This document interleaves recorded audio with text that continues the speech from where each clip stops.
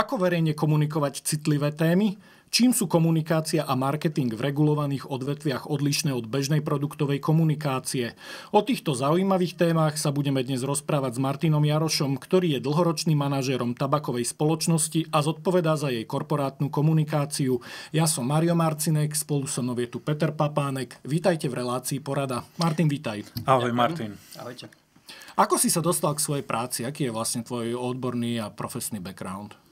Začalo to ešte e, počas výšky, keď som si potreboval trošku privyrobiť a vtedy sa spúšťala e, tlačová agentúra nová konkurenčná na trhu a našiel som si v nej prácu a v podstate pri novinárčine som už potom zostal roky rokúce až do nejakého roku 2010, keď prišla vláda Ivety Radičovej a e, keďže som bol ekonomický novinár, nejako ma mal v hľadáčiku Ivan Mikloš, vtedajší minister financí a zobral ma k sebe do poradného týmu a zároveň za hovorcu Čiže vtedy som nejako k tej komunikácii pričuchol z tej e, druhej strany. Zapáčilo sa mi to, keď tá vláda padla, tak e, zakrátko som si našiel prácu opäť e, hovorcu a komunikátora v medzinárodnom potravinárskom reťazci, čo bolo veľmi zaujímavé, pretože už tam som mal dočinenia s reguláciou, ktorá bola niekedy veľmi ostrá. Ak si pamätáte, to boli takéto naháňanie reťazcov kvôli miliónovým pokutám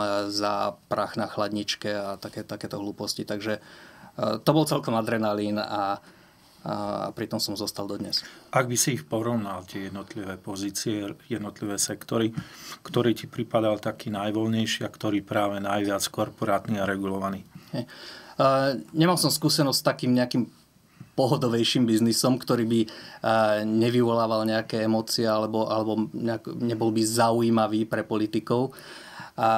Čiže potom po tej skúsenosti v tých, v tých potravinách som vlastne prešiel do tabaku, kde, kde, som, kde som dodnes už 7 rokov. A, a ono sa to stupňuje. Hej. Čiže e, človek je možno menej exponovaný voči, voči bežným médiám, ktorým sa veľmi do týchto tém nechce, ale to prostredie je ešte oveľa viac regulované a, a toto treba navigovať, treba tam nachádzať cestičky, pomáhať kolegom, ktorí nevedia alebo potrebujú poradiť, ako, ako urobiť marketing a neprekročiť zákon, alebo ako dostať produkt na trh a neprekročiť zákon, ako komunikovať e, s tými politikmi pri formovaní toho regulačného prostredia. Čiže uh, toto, čo teraz prežívam, stále ma to baví a je to, je to asi, neviem si predstaviť niečo viac regulované, možno obchod so zbraniami, ale to ma neláka. Mhm. No a teda konkrétne tie špecifika sú aké pri tabaku? Uh, pri tabaku uh, jednak to, čo je pri iných regulovaných odvetiach, že je v hľadáčiku politikov a treba to nejako vedieť navigovať. Uh, druhá vec je, že ten tabak má aj reputačný problém tak. dlhodobo, za ktorý si do veľkej miery môže sám. Tabakové výrobky sú s ľuďmi od nepamäti, klasické cigarety, ako ich poznáme, už pomaly vyše 100 rokov. Hej, taký, čiže uh, tie cigarety, keď, keď prišli na trh v 20. storočí, tak, tak boli komunikované a prezentované ako súčasť životného štýlu, niečo cool, niečo moderné. A keď sa začali objavovať náznaky, že tam môžu byť aj zdravotné problémy, sú tam rizika, tak ten tabakový priemysel na to nezareagoval, bagatelizoval to a sa mu to aj vrátilo. Takže v podstate túto záťaž z minulosti si ten, si ten biznis nesie dodnes a, a musí sa s tým vedieť chlapsky vyrovnať. Čiže nastavujete si zrkadlo?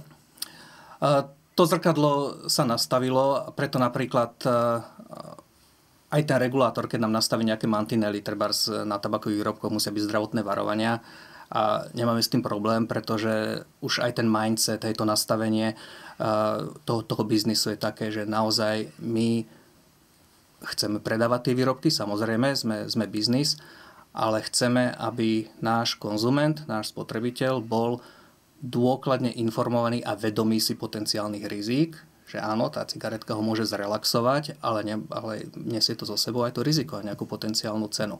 S týmto my pracujeme. Je nepredstaviteľné, aby už v tomto storočí ktokoľvek, kto v tomto biznese pôsobí, sa snažil akokoľvek bagatelizovať tieto rizika. Čiže keby si mal povedať, že ako sa tá, tá regulácia, tá komunikácia menila v priebehu 10 ročí, tak toto takéto sprísnenie by bola jedna z tých vecí, čo by bolo také nejaké ďalšie špecifikum? Uh, som naznačil, že, že tá, tá regulácia nejako sa vyvíja. A, a ako býva možno zvykom, že tá regulácia často reaguje na, na nejaké tie inovácie, alebo možno tá cigareta klasická je, je s nami 100 rokov, ale aj ona prešla nejakým vývojom pribudol k nej filter, potom k nej pribudli treba z príchute v tej tabakovej zmesi, potom príchute v tých kapsuliach, potom tie sa zakázali, lebo ten regulátor vždy postupne reagoval na to, na to, s čím ten priemysel prišiel. Čiže ten priemysel prirodzene snaží sa oslovovať spotrebiteľov, tých vedomých si svoj, e, tých, tých zdravotných rizik. Ale zároveň ten, ten, ten regulátor má záujem potenciálne rizika ďalej eliminovať. Najmä v zmysle, v zmysle tom, aby ten, tá množina tých potenciálnych spotrebiteľov nerastla. To znamená, aby boli chránené treba z deti, aby z nich nevyrastali fajčiari. Aby tie deti nevideli iných fajčiarov, aby ich to nemotivovalo treba. Ja keď som vyrastal, tak bolo úplne bežné, že v domácnosti sa fajčilo, na pracoviskách sa fajčilo, na výstaviskách sa fajčilo. A a, a ja som dlhé roky fajčil a určite som bol vplyvnený aj tým. Dnes uh, aj tá regulácia, aj ten biznis ide tým smerom, aby ani neoslovoval, nevytváral novú množinu spotrebiteľov. Do akej miery vás zasahuje regulácia v oblasti reklamy? Uh, do veľkej. Reklama na tabakové výrobky je zakázaná. Úplne? Úplne, ale uh, v zákone o reklame je definované, že reklamou nie je komunikácia na mieste predaja. To znamená, že, že sme vytesnení e, do tých trafík alebo na plochy tých e, dispenzorov na cigarety, ktoré sú v predajniach, e, kde môžeme ešte s tým spotrebiteľom komunikovať.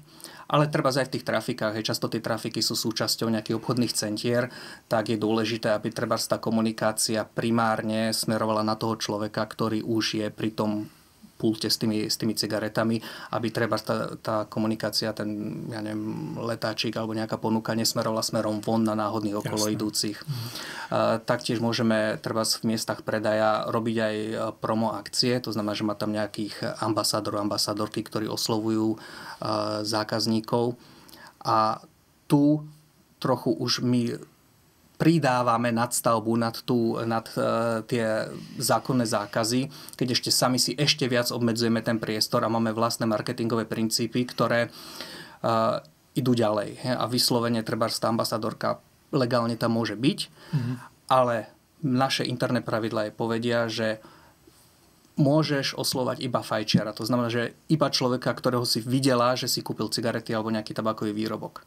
Ďalej ak ten človek je náhodou s dieťaťom za ruku alebo čo, aj tak ho nesmieš osloviť. To znamená, že už, už ideme trošičku, trošičku ďalej, aby naozaj uh, sme neprekročili nejaké, nejaké Čiže systém a samoregulácie, ktorým proste chcete si nastavať ešte pravidlá, aby ten regulátor, či už Hej. zo strany štátu alebo zdravotníckej organizácií vnímal aj tieto kroky. A nie je to len kvôli tomu presne zapačiť sa regulátorom, ale aj naozaj ten priemysel, ten biznis prešiel tou seba reflexiou, že uh, to nie je o tom, že byť, byť zachrumkavých, ale nechcem byť patetické, povedať, že ne, nepredať svoju dušu alebo niečo, ale proste už, už naozaj ten mindset je taký, že nepovažujeme za správne a snažiť sa akokoľvek, kohokoľvek motivovať, treba sa by začal fajčiť, alebo s ním komunikovať ak v prítomnosti dieťaťa. To znamená, že my napríklad my tabakové firmy medzi sebou kruto bojujeme,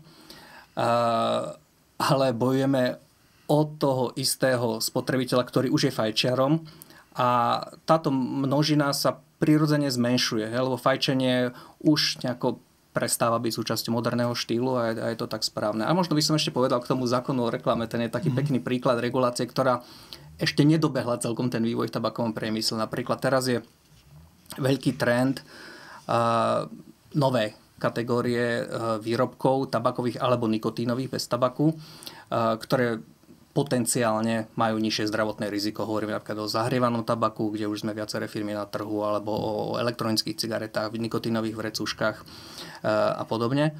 A to sú kategórie, ktoré zákon o reklame napríklad ešte nezach- nezachytil. Mm-hmm. Zákon o reklame definuje, že reklama tabakového výrobku je reklama na výrobok, ktorý obsahuje tabak a je určený na fajčenie, šnupanie, žúvanie, cmuľanie. No, proste tieto nové kategórie v tom zachytené nie sú. Napriek tomu ten priemysel eh, reflektuje na to a snaží sa správať rozumne a neprekročiť, ako nevyužívať, nezneužívať to, že ten zákon je starý a nezachytáva tie, tie kategórie. A JTI, spoločnosť, kde ty pracuješ, je globálnou spoločnosťou. V iných regiónoch sveta je tá regulácia niekde prísnejšia ako v Európskej únii, alebo práve, že Európska únia je v tomto lídrom? V Európskej únii je regulácia veľmi prísna, rozsiahla, podrobná, ale nie je, nie je najprísnejšia na svete. Sú krajiny, ktoré, ktoré išli ešte ďalej. Napríklad e, Austrália bola asi prvou krajinou, ktorá zaviedla napríklad zákaz e, akéhokoľvek brandingu alebo vlastnej grafiky na, na krabičkách cigariet. To znamená, že môžu mať len takú nejakú tú hnusnú hnedo-zelenkavú farbu, kde musí byť nejakým jednotným fontom vytlačený názov cigarety, ale nesmie tam byť mhm. logo, kamel, neviem čo. Musí tam byť len nápis. Čiže všetky krabičky vyzerajú úplne rovnako. Ambícia bola, aby to nebolo atraktívne. Trošku to vypálilo opačným smerom, lebo zhruba po, po tomto zákaze sa v Austrálii zastavil pokles počtu fajčiarov. Otvorili sa dvere pre nelegálne dovozy, pretože tieto krabičky sa veľa ľahšie falšujú a tak ďalej. Čiže trošku s tou reguláciou je problém, že niekedy sa nastaví veľmi prísno, lebo to veľmi dobre vyzerá pred voličmi, ale nedomyslia sa úplne dôsledky. A toto je trošku, čo, na čo aj apelujeme, že v rámci OECD napríklad, kde sme členom, platia pravidla tzv. lepšej regulácie, ktoré čo sú také rozumné pravidla pre regulácie, ktoré znamenajú, že urobiť dôkladnú analýzu pred zavedením regulácie, vyhodnotiť po zavedení, že či sa to uchytilo, alebo to treba ešte nejako, e, nejako vyladiť a nezavázať novú reguláciu, kým sme nevyhodnotili tú starú. Čiže ako normálne veci, ale pri takom priemysle sa to nevždy robí a niekedy sa ide krkolomne s novými reguláciami bez toho, aby sme vyskúšali alebo vyhodnotili, že či tie staré zafungovali. Tomuto úplne rozumiem. Ja som, moja ďalšia otázka práve smerovala na, na čierny trh, pretože vieme, že kde mhm. to je príliš zošnurované, tak sa presne otvárajú dvere a, pašovanému tovaru alebo proste nelegálne vytváranému tovaru. A poznáš takú situáciu, kde si to naozaj priznali a prípadne akože zmenili, urobili krok späť a napravili tú situáciu ako v rámci regulácie? Je taký prípad, alebo proste politici si nechcú priznať chybu a ostáva status quo aj s tými chybami? Uh, sú aj e, kroky späť. A neviem, aký je aktuálny status napríklad na Novom Zélande, ale napríklad tam, ale aj v iných krajinách sa e, začalo uvažovať o tzv. E, generačnom bane na, na predaj. To znamená, že ľudia mladší ako nejaký ročník narodenia si nemôžu legálne kúpiť výrobky. A že tým pádom, ako tá myšlienka je, že, že postupne existujúci fajčiari zostarnú, zomrú a nová, nové generácie už nebudú mať prístup k tabakovým výrobkom. Mm-hmm. Ale tam to už potom naráža na ústavné princípy, hej, že človek 30 ročný, ja neviem si v roku 2028 nebude môcť kúpiť cigarety, ale bude si môcť kúpiť alkohol a, a legálnu zbraň a, a že, že je to také niekedy naozaj, naozaj trošku mm-hmm. uh, neprimerané.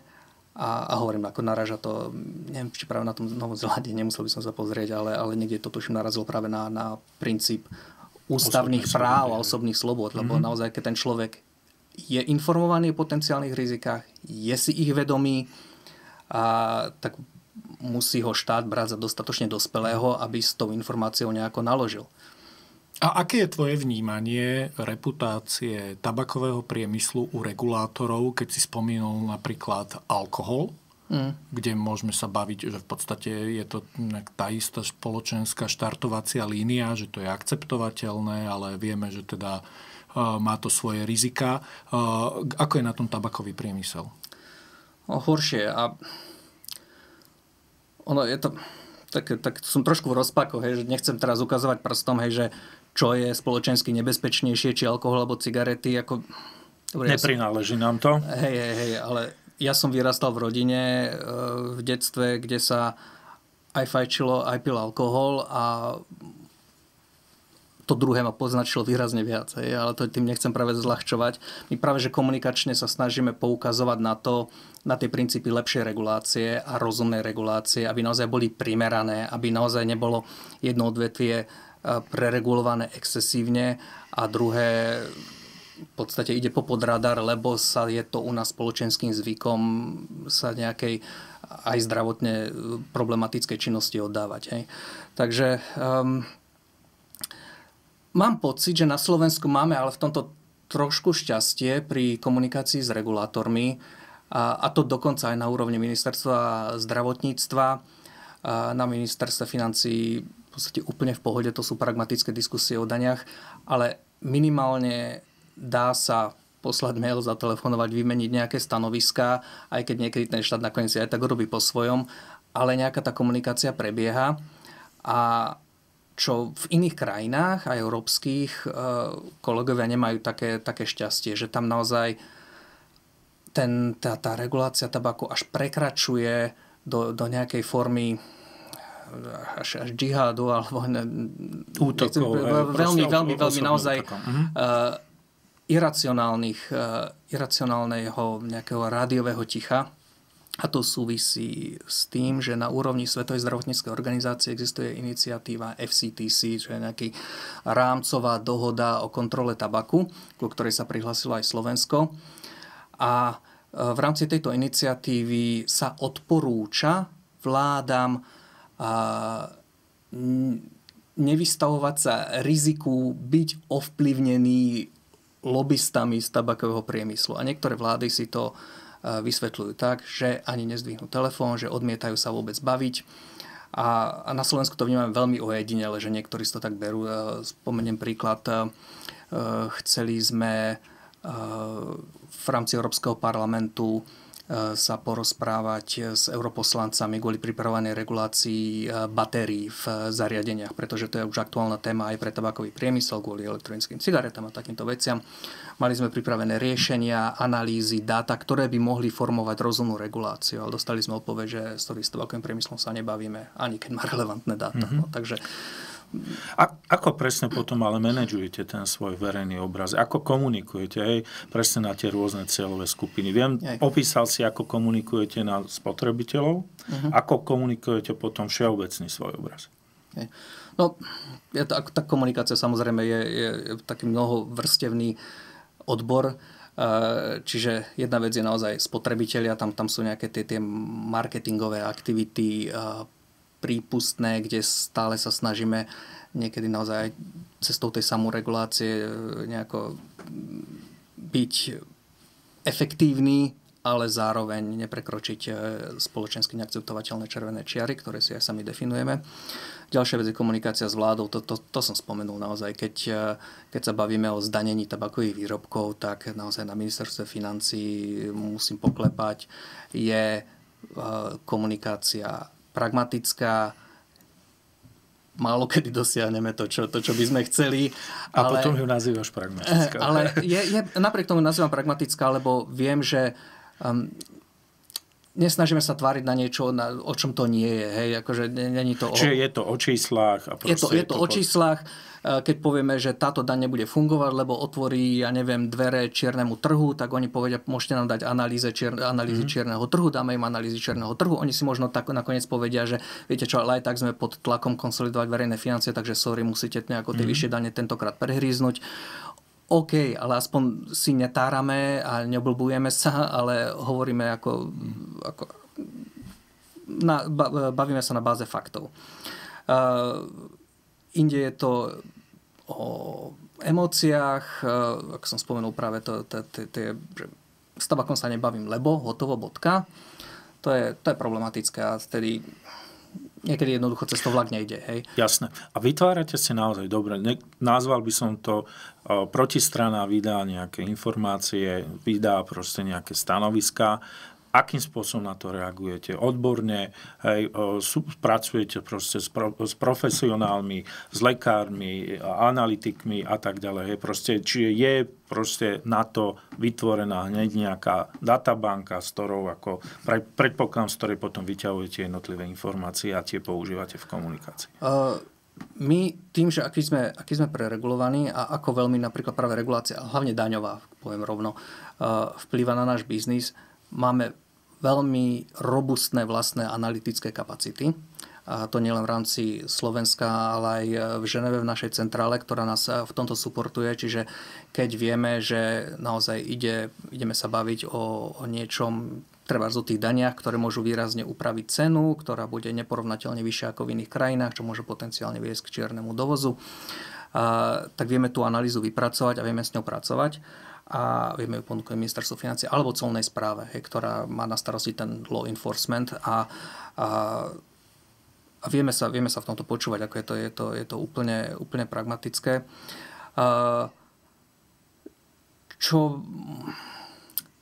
trošku niekedy býva problém, že, že my individuálne sa vieme k tým úradom aj dostať a mať s nimi rozumnú debatu, ale potom príde nejaká regulácia, pri ktorej ostane štát sám paralizovaný. A mám veľmi pekný príklad. Nedávno si mohli spotrebitelia všimnúť, že na výrobkoch, nielen na tabakových, začali pribúdať také tie, tie ikonky tej korytnačky, ako pláva v mori, vedľa nej špák a je tam upozornenie, že plasty obsahujú filter. Filter obsahuje plasty. Filter obsahuje. tak. Filtre, filtre obsahujú plasty a, a konec to tie klasické plasty, ako, ako, ako sú stavebnice alebo čo, ale uh, áno, vo filtroch sú tie vlákna, ktoré sú na báze celulózy, čo je nejaký polymér, ktorý už sa kvalifikuje z hľadiska európskej regulácie ako plast. Museli sme tam tú korytnačku dať. Už keď sa tá regulácia pripravovala, upozorňovali sme štát, aj slovenských úradníkov, ktorí toto mali vyjednávať na európskej úrovni formo, formovanie tejto regulácie, že môže tu byť problém, lebo na Slovensku máme veľmi veľké kontrolné známky oproti iným krajinám. Nezmestí sa to na tú krabičku. Regulácia prešla, nič sa nezmenilo, potom ju bolo treba implementovať a opäť sme prišli, akože, no Teraz kam máme dať tú korytnačku? Lebo regulácia hovorí, že korytnačka má ísť na zadnú stranu krabičky. Ak sa nezmestí, tak na bočnú stranu krabičky. No dobre, ale máme tu na Slovensku veľmi populárnu kategóriu tzv. tých slim cigariet, čo sú tie tenučké v tenkých krabičkách. Tá korytnačka sa nezmestí ani tam, ani tam, lebo tam zavadzia kolok, tam je tenká strana. 65% povrchu pokrývajú zdravotné varovania. Čo máme robiť? Snažili sme sa dostať k stolu rok, rok a pol všetky tri ministerstva, alebo koľky patria pod ministerstvo financí, zdravotné varovania pod zdravotníctvo, korytnačka pod ministerstvo životného prostredia, náš nový regulátor, vítame ho na palube. A skúsme sa dohodnúť, ako to vyriešiť. No, nakoniec sa to vyriešilo tak, že tú korytnačku dávame pri tejto kategórii cigaret na prednú stranu, čím si ešte viac obmedzujeme ten obmedzený priestor na ten nejaký vlastný branding, lebo inde sa to nezmestí, ale už je to porušením tej, tej regulácie, ktorá hovorí, že to má ísť dozadu. No. Čiže na miesto ťavy bude korytnačka? Uh, videli sme, že aj v, hej, hej, videli sme, že aj v parlamente uh, je, bola debata o tomto na výboroch pomerne uh, veľmi veľmi e, rozumná, že naozaj nemôžeme, nemôže štát dostať biznis do pozície, že ten, že ten biznis nevie dodržať zákon, keď sa mu stretnú tri regulácie, ale nakoniec sa skončilo tak, že tá, tá korytnačka je vpredu, e, je to tak na hrane a e, štát vie, prečo sme to urobili, že inú možnosť sme nemali, toleruje nám to samozrejme chvála Bohu, musím veľmi sa poďakovať ministerstvu financí, že, že po rokoch diskusí sme sa dostali do štádia, že už testujú menšie kontrolné známky, vďaka ktorým by sme to vedeli nejako lepšie upratať. Ale, ale toto som sa rozkecal, sorry, ale, ale to bol taký príklad, že naozaj niekedy tá, tá, tá regulácia, ten problém s ňou je ten, že jednotlivé orgány štátu sa nebavia medzi sebou, lebo to je váš zákon, to si riešte vy. Rozumiem. Dobre. A ako tabakový priemysel inovuje práve v reakcii na tú situáciu na trhu, respektíve aj sprísňujúce regulácie, ako Hej. také všeobecné, ktoré si opísal?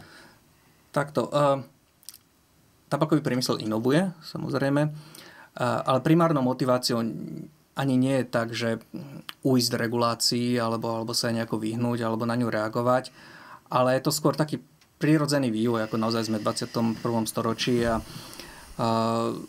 ten životný štýl sa mení, fajčenie je už dnes skôr stigmatizované ako otázkou životného štýlu.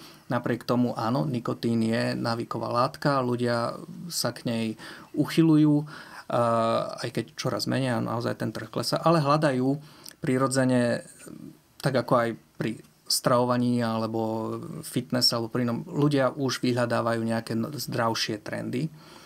A nikotín nikdy nebude úplne bezproblémový, vždy bude mať rizika, ale naozaj ten priemysel reaguje na tento dopyt a prichádza s produktmi, ktoré nesú potenciálne nižšie zdravotné rizika. Preto e, napríklad sú medzi tabakovými výrobkami populárne v súčasnosti a čoraz populárnejšie zahrievané tabakové výrobky, na čo je naša spoločnosť zareagovala. Pred mesiacom sme prišli na trh s produktom a Áno, je to tabakový výrobok, je v ňom nikotín, ale nedochádza k spaľovaniu, to znamená, že tam sa neuvoľňuje decht, ktorý je mm-hmm. ten asi najväčší problém. Ale samozrejme, ako to neznamená, že... že tieto... Čiže očakávaš ďalší vývoj, nové produkty v tomto štýle, ozdravovanie, zmenšovanie nebezpečných látok, zmenšovanie veľkosti. Čiže vždy sa nejakým spôsobom zareaguje na to, na to ako, ako ten spotrebiteľ, ako vníma váš brand a podobne. Hej? Uh, áno.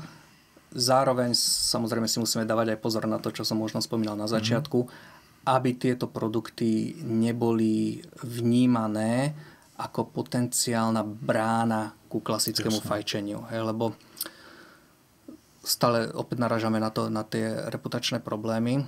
A ak, ak, ak dovolíš, tak spomeniem možno ďalší príklad, kde bola veľmi pekná spolupráca so štátom, tak rok a pol dozadu za Matovičovej vlády keď mediálne veľmi exponovaná bol, bol problém eh, nikotínových vrecúšok, mhm. pretože boli veľmi ľahko dostupné deťom. Tínedžeri si to, si to vo veľkom eh, dávali eh, ako, ako stimulant alebo ako frajerinu a vymklo sa to spod kontroly. Vtedy sme napríklad veľmi pekne komunikovali aj s protidrogovým centrom, vymieniali sme si informácie, a pomohli sme spolu s poslancami parlamentu naformulovať zákon, ktorý zakázal predaj a dostupnosť týchto výrobkov 18-ročným, čo nebolo zachytené v tej, tej regulácii predtým.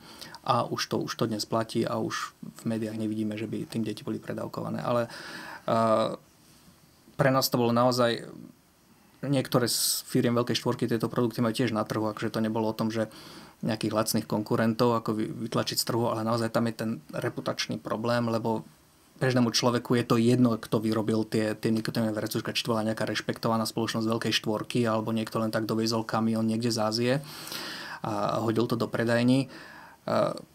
Pre človeka je to jedno. Hej? Aha, nikotinový priemysel si tu na vychováva nových spotrebiteľov. V žiadnom prípade. A ako vidíš šancu otvorenej spolupráce tabakového priemyslu a organizácií, ktoré sa venujú zdravotnej osvete? Aká je tam reálna šanca si sadnúť za jeden stôl a proste nastaviť veľmi férovú, transparentnú komunikáciu a spoluprácu. Tam, tam práve e, s tým e, protidrogovým centrom e, komunikujeme ako, ako tabakový priemysel. Máme odvetové združenie, pod ktorým fungujeme a, a vymeniame si skúsenosti. Práve pri tých nikotinových hracuškách sa to, sa to pekne ukázalo. A e, želal by som si, aby, aby také, takáto otvorená a naozaj na faktoch postavená komunikácia prebiehala aj s e, inými štátnymi orgánmi. Zase aj colníkov. Čiže vy sa tomu nebránite. Hej? Je šanca napríklad na, na, na európskej alebo svetovej úrovni, vie si to predstaviť? Tam sa, tam sa bojím, lebo tam práve je veľmi silný vplyv tej Svetovej zdravotníckej mm-hmm. organizácie, a, ktorá naozaj robí ohromnú záslužnú činnosť pri, pri napríklad boji s pandémiou, tak, ale keď ide o boj proti tabaku, tak sa obávam, že to trošku prešlo už tie, tie, tie hranice tej zdravej regulácie, lebo poviem príklad, bývajú také tie medzinárodné stretnutia COP, Conference of Parties, k rôznym problematikám.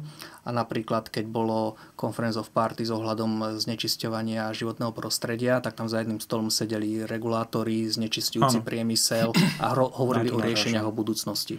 Keď je Conference of Parties týkajúca sa tabakového priemyslu, tak je tam asi 300 delegátov z protitabakových e, aktivistov. Tabakové firmy majú zakázaný prístup a dokonca oni lustrujú, ktorí úradníci z ktorých krajín môžu prísť a lustrujú si, či sa náhodou niekedy v minulosti nestretli s nejakou tabakovou firmou. A tam to nevidím ako priestor na debatu. Dobre, nesúvisí tu potom naozaj s reputáciou vášho sektora, urobiť naozaj potom nejaké radikálne zmeny a nájsť riešenie, pretože toto, čo spomínaš, tak je naozaj, že nie je šanca si sadnúť za jeden stôl a, a nastaviť korektnejšiu spoluprácu Hej. alebo komunikáciu názvom. No napríklad aj ten, ten vývoj tých nových kategórií výrobkov, je zahrievané mm-hmm. tabakové výrobky, To, to nie je ako prilepiť filter na cigaretu a máš nový mm. výrobok. Toto vývoj stál miliardy dolárov a trval roky. Naša spoločnosť napríklad, teraz máme produkt Plum, ktorý je asi piatou verziou.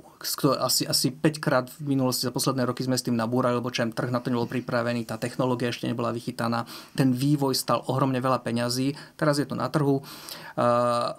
Konkurencia má tiež svoje výrobky a už asi sa to dostalo tam, že už, už sa to trafilo do tej doby, že aj, ten, aj tá technológia, aj tá regulácia sa už na to pripravila. Je to.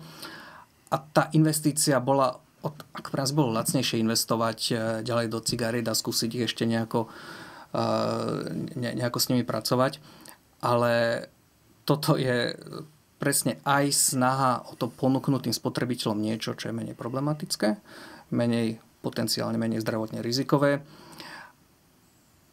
A nie, že by to bola primárna motivácia, ale trošku sme mysleli, že aj títo regulátori, že, že sa im to dostane na radar, že uvidia, že aspoň na nejaká snaha tam je.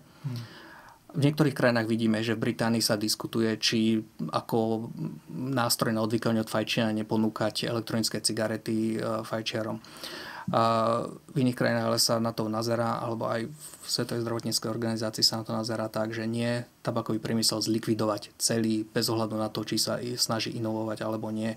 A to už je, to už je naozaj skôr ideológia ako, ako práca s faktami. A tam, tam je to boj do kopca a mrzí nás to. Ako radi by sme mali otvorenú diskusiu, ale niekedy proste cez to vlak nejde. No. Rozumiem. Na záver, čo by si poradil začínajúcim profesionálom v komunikácii pri komunikovaní takýchto citlivých tém? Mm, všeobecne asi e, čo možno platí častočne aj pri iných biznisoch. Ako človeka samozrejme musí, musí tá komunikácia baviť. Pri týchto regulovaných mm, asi ho musí baviť ten, ten, ten lobbying a, a snaha formovať to to operačné prostredie, to, to, to regulačné prostredie a stretávať sa s ľuďmi a, a mať, mať preto vášeň. A veľmi dôležité pri týchto citlivých odvetviach je vedieť sa s tým aj vnútorne stotožniť. Ako ja, keď som úplne náhodou dostal ponuku ísť do tabakového biznisu, to bolo len tak, že som bol na kave s headhunterkou a toto ani nemala byť téma, len odrazu z nej vypadlo, že niečo mám, čo by sa vám strašne hodilo a, a odrazu už 7 rokov tam pracujem. A, a dôležité bolo si, si rýchlo to prepnúť a vedieť si sám sebe zdôvodniť. Že pracujem v tabakom priemysle, ktorý áno, dlhodobo má zlú reputáciu, s ktorou stále bojuje a, a potrebuje ten svoj biznis e, e, obraz nejako spracovať a, a vylepšovať a znormalizovať ho opäť. A musí vedieť aj svojim deťom vysvetliť, že čím sa živí a, a nejako sa k tomu postaviť. Čiže ako ja som si to vyriešil, moje deti vedia, čím sa živím a povedal som im, nech ich pochráni, ak, ak sa vôbec niekedy dotknú našich produktov alebo konkurenčných. e, ale pracujeme s tým, že áno, človek, ktorý konzumuje naše produkty, musí si byť vedomý toho, čo robí a ja si musím byť vedomý toho, s kým budem komunikovať o tom. Rozumiem. Ďakujeme, že si prišiel do dnešnej porady. Pekne. Ďakujem za pozvanie.